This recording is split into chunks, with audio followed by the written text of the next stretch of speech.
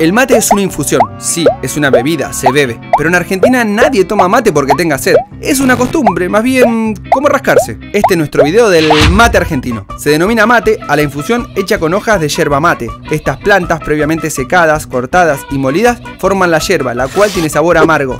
Yerbas, amargo, yerbas, amargo. ¿Esto no le recuerda otra cosa?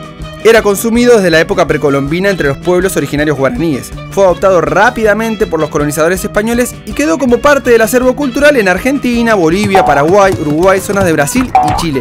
Y hoy se exporta a lugares tan distantes como Alemania o Rusia.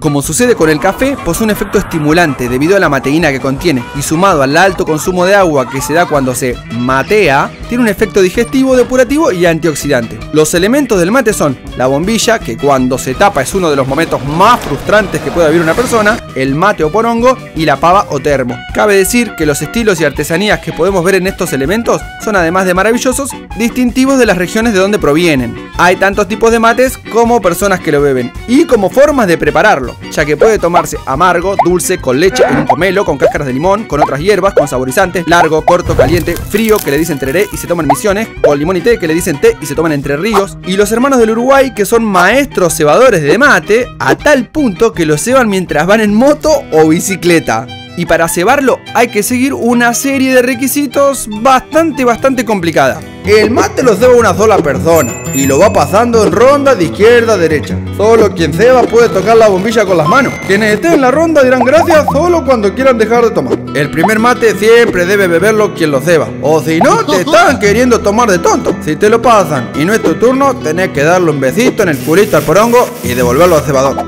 Esa es toda la costumbre. El mate es una costumbre, sí, pero también es un ritual. Quizás en el futuro nos verán los argentinos cebando mate como hoy se ve a los japoneses con su ceremonia del té.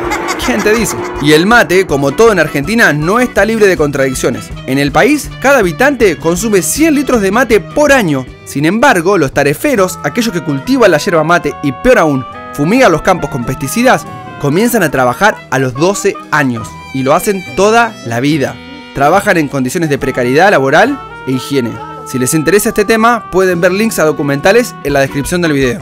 El mate hace lo contrario que la televisión. Te hace conversar si estás con gente o pensar si estás solo. Cuando llega alguien a la casa de un argentino, la primera palabra es hola y la segunda, unos mates. Y es la forma que tenemos los argentinos de reconocernos entre nosotros cuando estamos en el exterior. Esta es la bebida de los argentinos, el mate. ¿Qué te pareció el video?